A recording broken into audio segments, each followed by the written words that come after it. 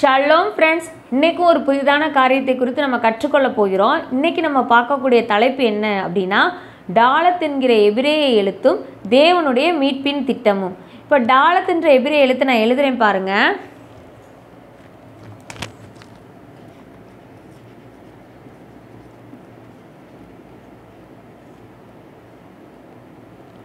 டாலத் இந்த இதுதான் டாலத். இது எபிரேயத்தில் நான்காம் எழுத்து ஃபோர்த் அல்பபெட்டிக் தேவனுடைய பெயரும் நான்கு எழுத்துக்களில் இருக்கும். யோட் ஹே வாவ் ஹே. இதை ஒரு சில பேர் யெகோவான்னு சொல்லுவாங்க ஒரு சில பேர் யாவேன்னு சொல்லுவாங்க. யூதர்கள் வந்து இதை அடோனைன்னு கூட சொல்லுவாங்க. வேதாகமத்தில் நாலு நிறைய விஷயங் நிறைய காரியங்களில் அடையாளமாக பயன்படுத்தப்பட்டுச்சு. எக்ஸாம்பிளுக்கு பார்த்தீங்கன்னா சுவிசேஷங்கள் நான்கு இருக்குது காஸ்பல்ஸ் நாலு இங்கிலீஷில் வந்து காஸ்பல்ஸ் டைரக்ஷன் திசைகள் வந்து நான்கு இருக்குது அதே மாதிரி பலிபீடத்தில் நான்கு கொம்புகள் இருக்குது அதே மாதிரி சிருஷ்டிப்பில் தேவன் நான்காம் நாள் என்ன என்னென்ன சிருஷ்டித்தார் அப்படின்னா சூரியன் சந்திரன் நட்சத்திரங்கள் சன் மூன் ஸ்டார்ஸ் எல்லாமே ஆண்டவங்க வந்து நான்காம் நாள் சிருஷ்டிப்பில் வந்து சிருஷ்டித்தாங்க. ஸோ டாலத் இந்த டாலத்துன்றது எபிரேயத்தில் நான்காம் எழுத்து. இப்போ இந்த டாலத்துன்ற வார்த்தைக்கு எழுத்துக்கு லிட்ரல் மீனிங்கும் இருக்குது ஸ்பிரிச்சுவல் மீனிங் இருக்குது இந்த டாலத்துன்ற எழுத்துக்கு லிட்ரல் மீனிங்கும் இருக்குது ஸ்பிரிச்சுவல் மீனிங் இருக்குது லிட்ரல் மீனிங் என்ன அப்படின்னா டோர் டோர்னா என்னது? கதவு. வாசல். ஸ்பிரிச்சுவல் மீனிங் என்னது? ரிடம்ஷன் டோர்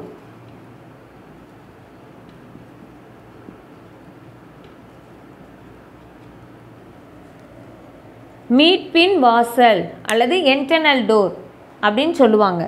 இந்த டாலத்துன்ற எழுத்துக்கு லிட்ரல் மீனிங் ஒன்று இருக்குது ஸ்பிரிச்சுவல் மீனிங் இருக்குது டோர்னா கதவு லிட்ரல் மீனிங்கில் ஸ்பிரிச்சுவல் மீனிங்கில் என்னது? ரிடம்ஷன் டோர் ரிடம்ஷன் டோர்னா என்னது? மீட்பின் வாசல் என்டர்னல் டோர்னு கூட இதை சொல்லுவாங்க.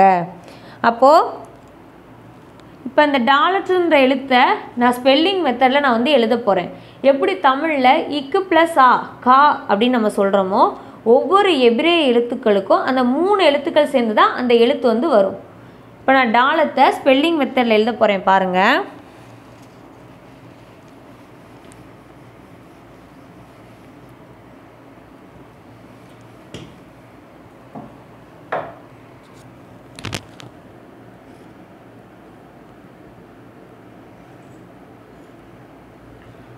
டாலர் லமட் தவ் எதற்கு இதை நான் மீட்பின் வாசல் அப்படின்னு சொல்கிறேன் அப்படின்னா எபிரேயம் ஒம்பது பதினொன்றாவது அதிகாரம் பன்னெண்டாவது வசனம் சொல்லுது.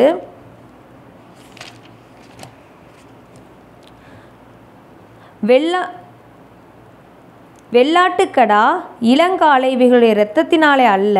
எப்ரேயர் ஒம்போதில் பன்னெண்டாவது வசனம் வாசிக்கிறேன் பாருங்கள் தம்முடைய சொந்த இரத்தத்தினாலும் ஒரே தரம் மகா பரிசுத்த ஸ்தலத்திலே பிரவேசித்து நித்திய மீட்பை உண்டு பண்ணினார். என்ன மீட்பா? நித்திய மீட்பா. அப்போது இந்த டாலத்தை இந்த டாலத்துன்ற எபிரேயத்தில் நான்காவது எழுத்து இதை நான் ஸ்பெல்லிங் மெத்தடில் எழுதியிருக்கேன். இந்த டாலத் அப்படின்றதுக்கு என்னதுன்னா வாசல் டோர் இந்த லமட் லமட்ன்றதற்கு மேய்ப்பர் மேய்ப்பனின் கோல்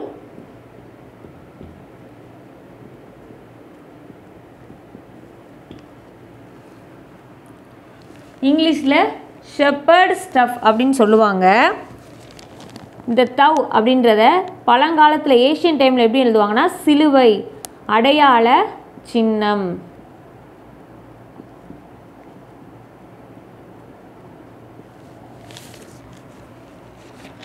தேவன் உன்னதத்தில் இருந்து உன்னதத்திலிருந்து மேலிருந்து கீழ் இறங்கி சிலுவையில் இரத்தம் சிந்தி நமக்காக மீட்பின் டோரை உண்டு பண்ணினார். தேவன் மேலிருந்து கீழ் இறங்கி சிலுவையில் ரத்தம் சிந்தி நமக்காக பலியாகி இந்த மீட்பின் டோரை உண்டு பண்ணினார். எந்த மீட்பு? அப்படின்னா என்- எதை மீட்க உண்டு பண்ணினார் அப்படின்னா ஆத்தும மீட்பு. என்ன மீட்பு? ஆத்தும மீட்பு. அப்போஸ்தலர் ரெண்டு இருபத்தி ஏழு இருபத்தெட்டாவது வசனம் சொல்லுது பாருங்க. அப்போஸ்தலர் என் ஆத்துமாவை பாதாளத்தில் விடீர் உம்முடைய பரிசுத்தர் அழிவை காண ஒட்டீர். இருபத்தெட்டில் பாருங்க ஜீவ மார்க்கங்களை எனக்கு தெரியப்படுத்துவீர். என் ஆத்துமாவை பாதாளத்தில் விடீர். அப்போ என்ன மீட்பு அப்படின்னா ஆத்தும மீட்பு. என்ன மீட்பு? ஆத்தும மீட்பு. அப்போ இப்போ டாலத்தை நம்ம பார்த்துட்டோம். ஆத்துமாவை நம்ம பார்க்கணும்ல? அப்போ ஆத்துமாவுக்கு எப்ரேயத்தில் நெஃபேஸ் இங்கிலீஷில் சோல்னு சொல்லுவாங்க. இப்போ அந்த நெஃபேஷை குறித்து நம்ம பார்க்கலாமா? இதை எழுதிக்கோங்க.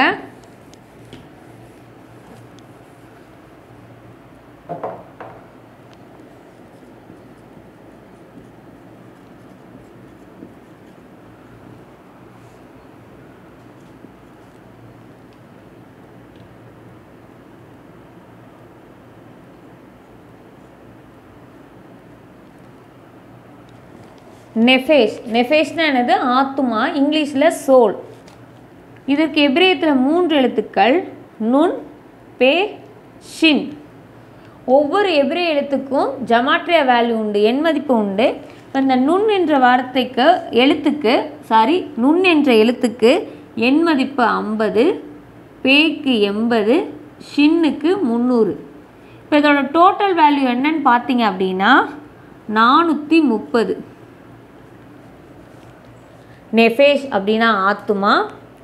ஆத்துமான்றதுக்கு எபிரேத்தில் மூன்று எழுத்துக்கள் நெஃபேஸ் அதோட எண்மதிப்பு எழுதியிருக்கேன். இந்த எண்மதிப்போட டே டோட்டல் வேல்யூ நானூற்றி முப்பது நானூற்றி முப்பது வந்தோடனே உங்களுக்கு எதை ஞாபகப்படுத்துது அப்படின்னா எனக்கு எதை ஞாபகப்படுத்துச்சு அப் அப்படின்னா இஸ்ரேவேல் ஜனங்கள் எகிப்து தேசத்தில் நானூற்றி முப்பது வருஷங்கள் அடிமையாக இருந்தாங்க. அவங்களுடைய ஆத்மாவை மீட்க ஆத்ம வியாகுலத்திலேருந்து அவங்கள மீட்க மோசேன்ற டோரை வந்து மோசேன்ற டாலத் மோசேன்ற டோரை வந்து தேவன் அனுப்பினார். அவர்களில் அடுத்த தலைமுறையினர் பரம காணானை சுதந்திரித்தார்கள். அது இனி நாம் சுதந்திரிக்க போகிற பரம காணானுக்கு அடையாளமாகவும் நிழலாட்டமாகவும் இருக்குது. அதுதான் மோசே உபாம உபாகமம் பதினெட்டு பதினஞ்சில் சொல்லியிருக்காரு. உன் நடுவே உன் சகோதரரிலிருந்து எழும்ப பண்ணுவார். அவருக்கு செவி கொடுப்பீர்களாக. அப்படின்னு உபாமத்தில் மோசை சொல்லியிருக்காரு. உன் நடுவே அப்படின்னு சொல்லி உன் நடுவே உன் சகோதரரிலிருந்து அப்படின்னா என்னதுன்னா அது யாரை குறிக்குது அப்படின்னா ஆண்டவராகிய எகோஸ்வாவை குறிக்குது. தமிழில் இயேசு கிறிஸ்துவை குறிக்குது. இப்போ அவர் என்ன மீட்பராக இங்கே வந்தார் அப்படின்னா ஆத்தும மீட்பராக வந்தார். அவர் என்ன மீட்பராக வந்தார்? ஆத்தும மீட்பராக வந்தார். சரி இப்போ நெஃபேஸை பார்த்துட்டோம். இதற்கு முன்னாடி டாலத்தை நம்ம பார்த்தோம். இப்போ அவர் என்ன மீட்பர்? ஆத்தும மீட்பர். அப்போ இப்போ டோர்னா என்னது? வாசல். ஆத்மா என்ன இது நெஃபேஸ்னா என்னது? ஆத்மா அப்போ அதை ரெண்டையும் விரிவுபடுத்தி நம்ம பார்க்க போகிறோம்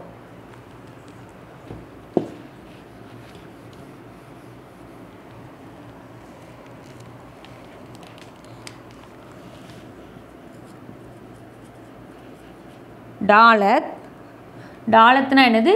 டோ. இதற்கு எபிரேயத்தில் எத்தனை எழுத்துக்கள்? டாலர். லமட். தவ். டாலர் லமட் தவ். நெஃபேஸ். சோல். நுண். பே. ஷின். இப்போ இப்போ அதோட ஜமாட்ரியா வேல்யூலாம் எழுத போகிறோம் டாலத்துக்கு என்னது? நாலு. லெமட் முப்பது. தவ்வோட ஜமாட்ரியா வேல்யூ நானூறு.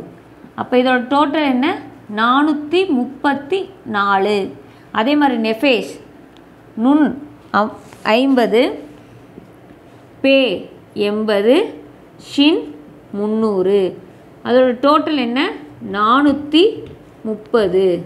அப்போ இந்த நானூற்றி முப்பத்தி நாலுக்கும் நானூற்றி முப்பதுக்கும் இடையே எத்தனை டிஃப்ரென்ஸ் இருக்குன்னா ஃபோர் நான்கு. இப்போ நான்கு வந்து எத்தனாவது எழுத்தாக இருந்துச்சு? டாலத். டாலத்னா என்னது? டோர் வாசல். ஸோ சோல் நீட்ஸ் என்னது? டோர். இப்போ ஆத்மாவை மீட்க மேசியான்ற டோர் என்ன பண்ணார்? நமக்கு தேவைப்பட்டார். நம்முடைய ஆத்மாவை மீட்க மேசியான்ற டோர் வந்து நமக்கு தேவைப்பட்டார். அதை தான் யோவான் பத்து ஒம்பது எடுத்து நான் வாசிக்கிறேன் பாருங்களேன்.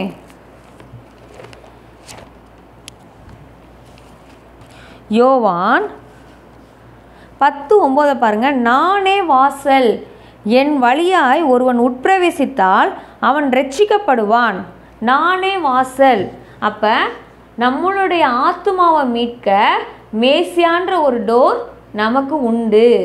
அப்போ அதுதான் யோவன் பத்து ஒம்பது என்ன சொல்லுது? ஐ ஆம் த டோர் நானே வாசல். இப்போ இன்னொரு வசனத்தை நான் வாசிக்கிறேன் பாருங்கள் அப்போஸ்தலர் ரெண்டு இருபத்தி ஏழு இருபத்தெட்டு.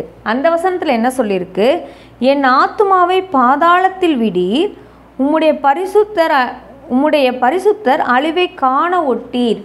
இருபத்தி எட்டில் சொல்லுது ஜீவ மார்க்கங்களை எனக்கு தெரியப்படுத்துவீர். இப்போது இந்த டாலர் இந்த நெஃபேஸ் இதுக்குரிய மீனிங்ஸை பார்க்க போனோம் இப்போ ஜமாட்ரியா வேல்யூவில் பார்த்தோம். இப்போ மீனிங்ஸில் பார்த்து நம்மளுடைய ஆத்தும மீட்பர் யார்? அப்படின்றத நம்ம பார்க்க போகிறோம்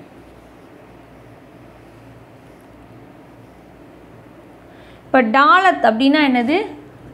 டோர் மார்க்கம் வழி. லமட்னா என்ன சொன்னேன்? மேய்ப்பர். மேய்ப்பனின் கோல்.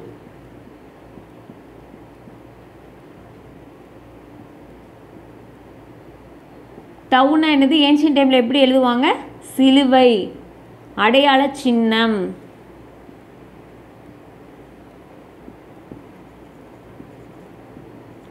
இந்த நுண் அப்படின்னா என்னதுன்னா ஜீவன். ஜீவன். பே அப்படின்னா என்னது? வாய். ஷின் அப்படின்னா டெஸ்ட்ராய் அழித்தல்.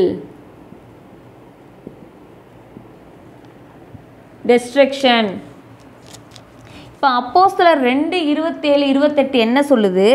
ஜீவ மார்க்கத்தை எனக்கு தெரியப்படுத்துவி அப்படின்னு சொல்லுது. இருபத்தெட்டாவது வசனம் ஜீவ மார்க்கத்தை எனக்கு தெரியப்படுத்துவீர் அப்படின்னு சொல்லுது.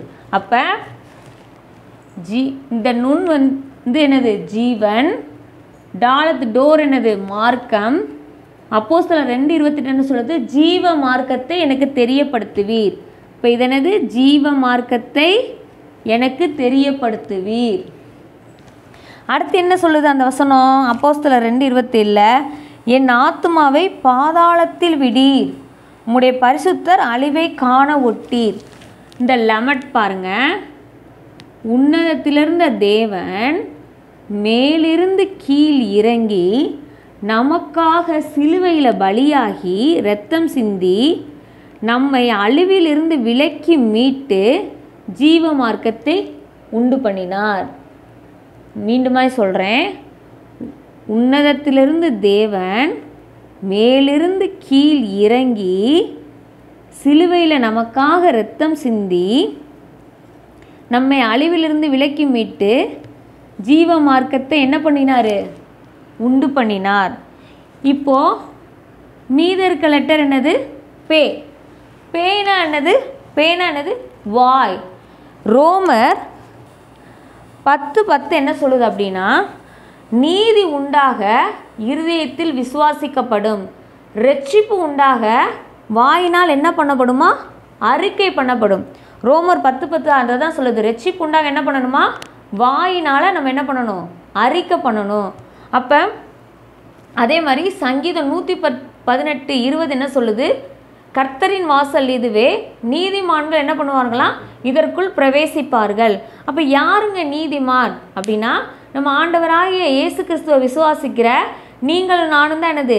நீதிமான். அப்போ நம்ம என்ன பண்ணணும்? வாயினால் என்ன பண்ணணும்? அவர் என்ன பண்ணணும்? அறிக்கை பண்ணணும். அப்போ ரட்சிப்பு உண்டாக என்ன பண்ணணுமா? வாயினால் நம்ம அறிக்கை பண்ணணும். அப்போ நம்ம வாயினால் அறிக்கை பண்ணும் பொழுது நம்ம வாயினால் நம்முடைய மெய்ப்பரை நம்ம ஆண்டவராக எகோஸ்வாவை அறிக்கை பண்ணும் பொழுது அவர் உன்னதத்திலிருந்து இறங்கி மே கீழ் மேலிருந்து கீழ் இறங்கி நமக்காக சிலுவையில் பலியாகி நம்மை அழிவிலிருந்து விலக்கி மீட்டு ஜீவ மார்க்கத்தை நமக்கு தெரியப்படுத்துவார். அப்போ நம்ம வாயினால் அறிக்கை பண்ணும்போது என்ன பண்ணுவோம்னா நாமளும் என்ன பண்ணுவோம்? கீழிருந்து மேலே போய் உன்னத நிலைக்கு அடைவோம். எப்படி? இஸ்ரவேல் ஜனங்கள் மோசையின் மூலமாக பூமிக்குரிய காணான அடையிறதுக்கு போனாங்களோ நாமளும் வாயினால் அவரை விசுவாசித்து நம்ம அறிக்கை பண்ணும் பொழுது கீழிருந்து மேல் மேலே போய் நம்ம என்ன பண்ணுவோம்? பரம காணான அடைவோம் உன்னத நிலையை அடைவோம். அப்போ நம்ம யாரை விசுவாசிக்கணும்? யாரை அறிக்கை பண்ணணும் அப்படின்னா நம்ம ஆண்டவராக ஏகோஷ்வாவை அறிக்கை பண்ணணும். அப்போ அவர் தான் யார்? நம்முடைய ஆத்தும மீட்பர். இந்த வேத பகுதி உங்களுக்கு ஆசீர்வாதமாக இருந்திருக்குன்னு நான் ஆண்டவருக்குள்ளே விசுவாசிக்கிறேன். கர்த்தர் தாமே இந்த வேத பாடத்தை ஆசீர்வதிப்பாராக. ஆமேன்.